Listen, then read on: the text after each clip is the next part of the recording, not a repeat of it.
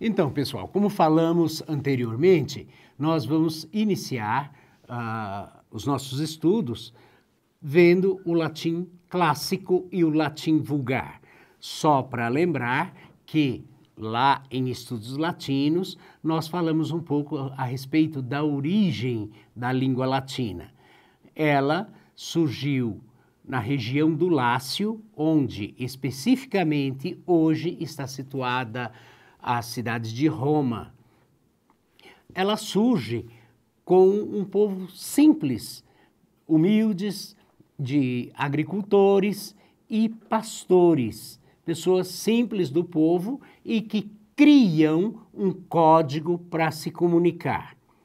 E esse código, eh, que se chamará depois língua latina, ele, para surpresa de todos, ele vai crescendo, tomando corpo e chega ao seu mais alto esplendor, passando a ser língua oficial da Igreja Católica, assim como língua oficial da ciência. Podemos observar ah, nos nomes de plantas, pássaros, animais, os nomes científicos são todos em latim. Esse latim tinha duas modalidades do latim, quais sejam o latim clássico. O que era o latim clássico?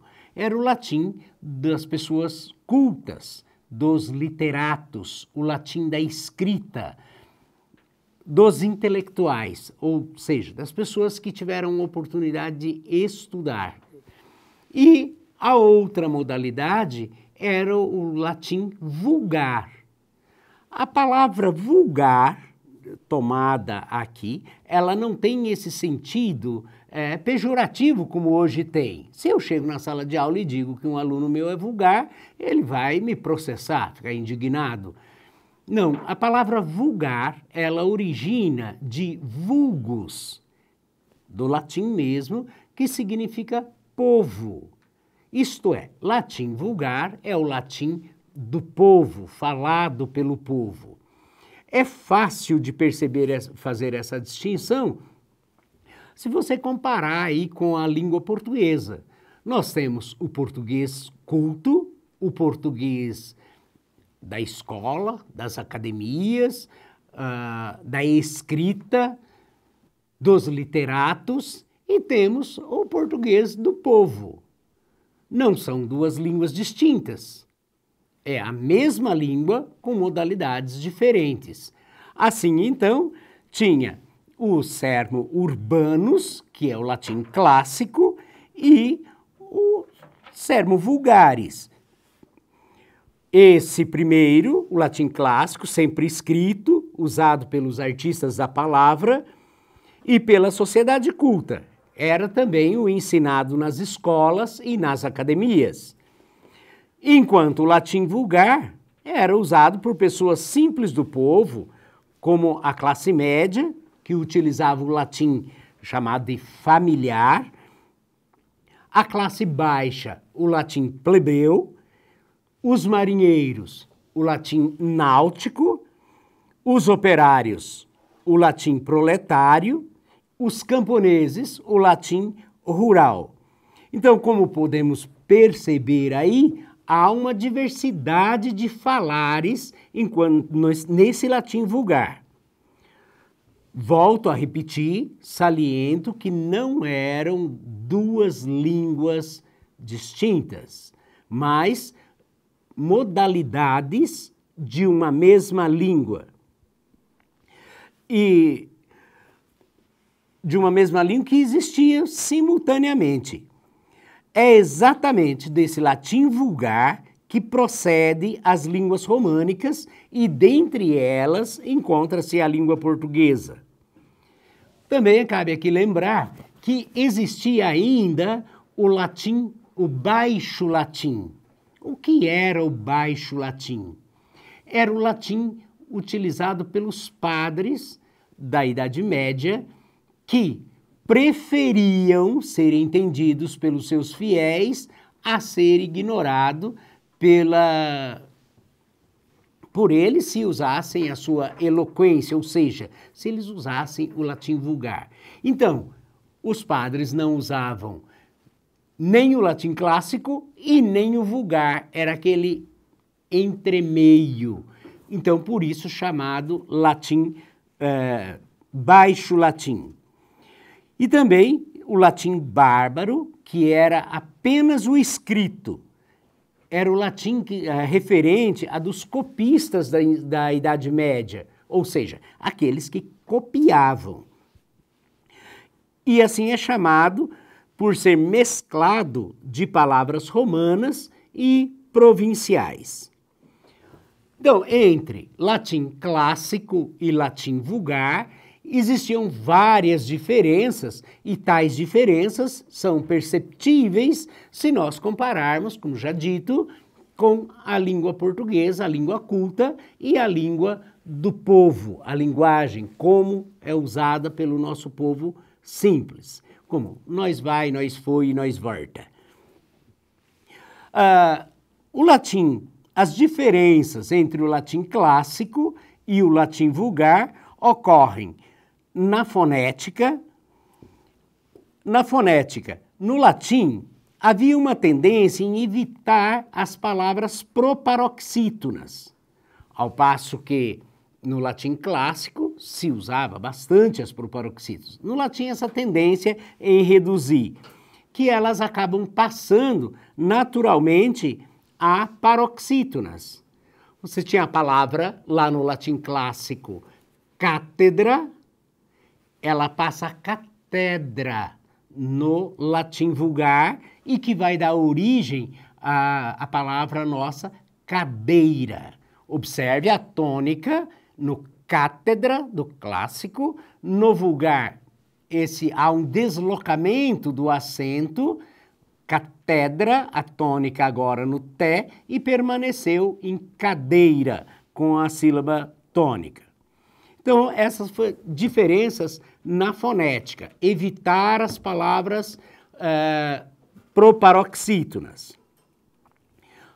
No léxico, o uso de palavras mais populares e afetivas, usadas assim, sufixos diminutivos, como exemplo, a palavra auris, orelha, lá no latim clássico, no vulgar, ela recebe o sufixo uh, mais afetivo, aurícula, quer dizer, o diminutivo de auris, e que chega até nós a orelha, por toda uma uh, evolução fonética da palavra. Então, na fonética, e, o evitar as palavras proparoxítonas.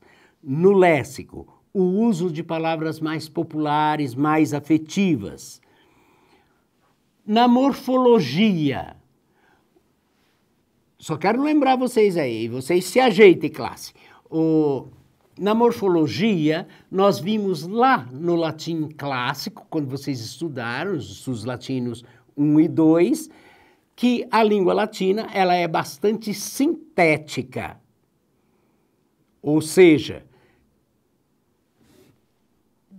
resumida, sucinta.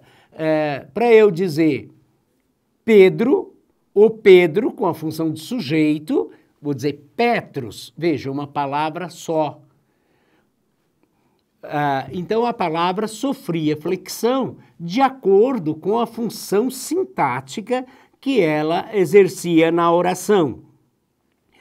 O latim vulgar, ele já dá preferência para o uso, na morfologia, para o uso das formas mais analíticas, é, acrescentando o uso de pronomes, dos demonstrativos, como com valor de determin, eh, determinativos, o artigo definido e indefinido no latim clássico se dizia uh, liber.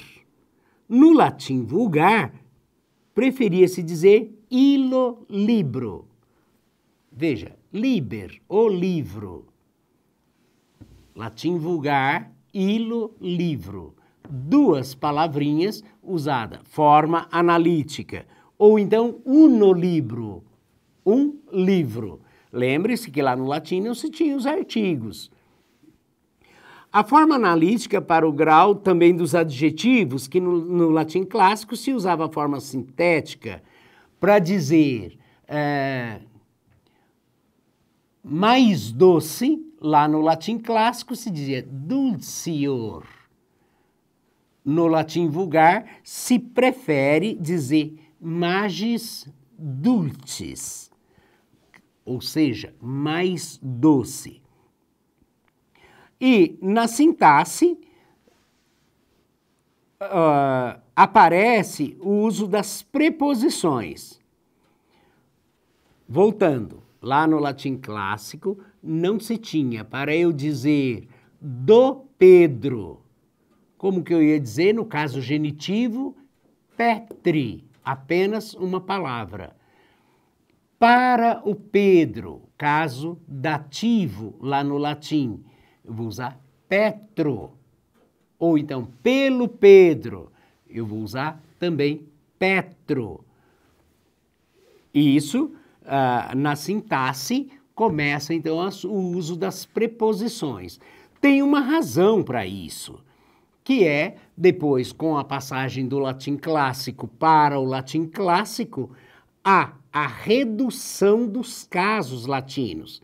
Lembrando, seis casos latinos, eles acabam se reduzindo e também, consequentemente, acabam reduzindo o número das declinações, que eram cinco lá no latim.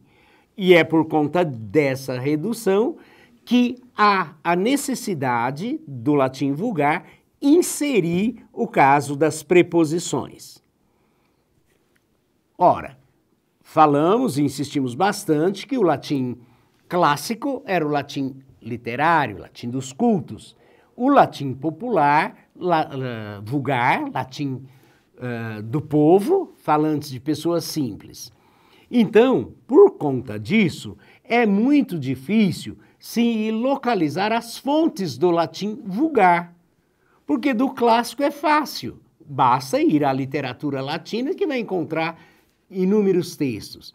No latim vulgar, como não era uma língua escrita, era apenas uma língua falada, então poucos uh, escritos se tem. E como que a gente sabe de alguma coisa? O Ismael Coutinho apresenta na gramática histórica algumas inscrições feitas em latim vulgar. O que eram essas inscrições? Uh, não sei se já ouviram falar, mas existiam as tabuinhas execratórias.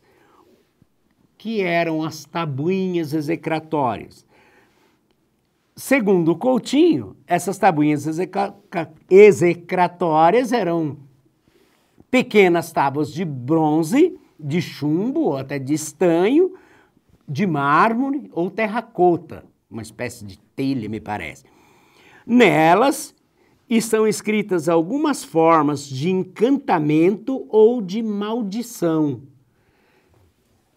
Hoje, nós usamos, por exemplo, um cartão de aniversário felicitando alguém pela passagem do aniversário. Aliás, usamos isso muito pouco hoje em dia, né, com, com a tecnologia bastante avançada. Na ocasião, se usavam essas tabuinhas execratórias. Elas podiam ser de felicitação, de encantamento ou até mesmo de maldizer. Na gramática histórica do Ismael Coutinho, a gente encontra exemplos dessas tabuinhas e até muito engraçadas e gostosas assim de serem lidas no latim vulgar e ele apresenta também com a tradução. É, tais tabuinhas eram escritas pelo povo simples, pelo povo de Deus aí. E também o apêndice probe. O que, que é isso?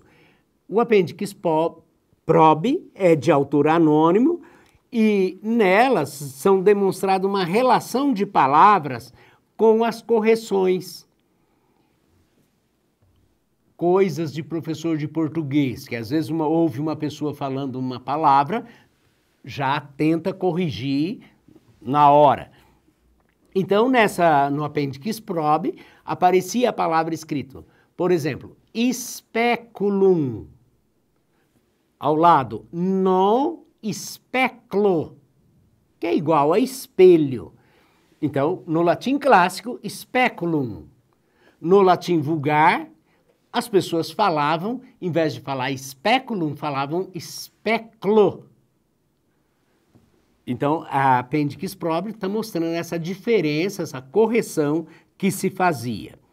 Uma outra inscrição é a Peregrinatio ad Loca Santa, em que uma monja, Egéria, ela faz aquela viagem de São Tiago de Compostela.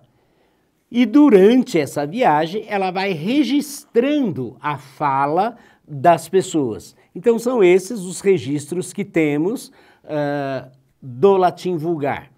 Claro que são poucos, porque uma vez que era mais o latim falado. E uh, é desse latim, estou repetindo aí, uh, que surgem as dez línguas românicas, porque elas têm, uh, são chamadas de línguas românicas porque elas têm origem lá no latim vulgar. Quais sejam? O português, o espanhol, o catalão, o francês, o provençal, o italiano, o reto-romano, o dalmático, o romeno e o sardo. Como vimos, dentro dessas encontra-se a língua portuguesa, que é o nosso foco uh, de estudos. Um abraço a todos.